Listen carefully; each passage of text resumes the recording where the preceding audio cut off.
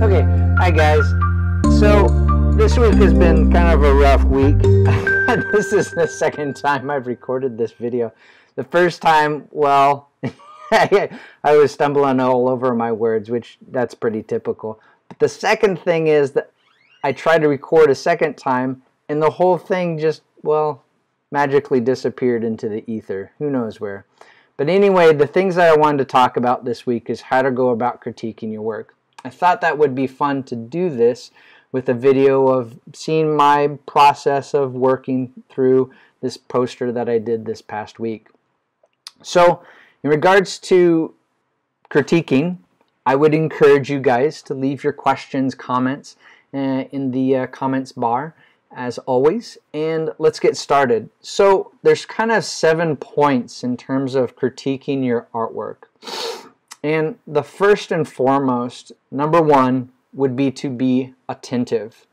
In other words, what I mean by being att attentive is to pay attention to the details. Now, let's say, for example, that you're critiquing your own work, you're by yourself, you're working in your studio or wherever you work, and you look at your work and you think it's pretty good or whatever, and but you're not you feel like maybe you could be better or you need improvement or you're looking for improvement but you're not quite sure where to start.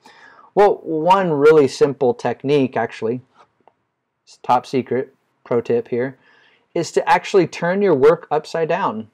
Look at it from a new set of eyes. Take 20 minutes away from your work or whatever that might be and then turn your work upside down and take a fresh look at it. When you look at it upside down more likely you're going to see all sorts of details that you hadn't seen before.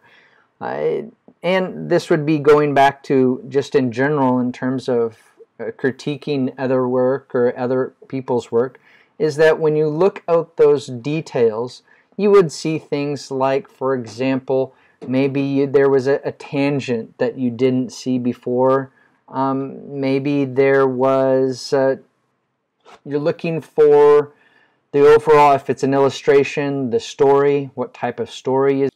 If you like the content and you like to see more, please consider joining our Subscribestar group. You'll find the link in the description below.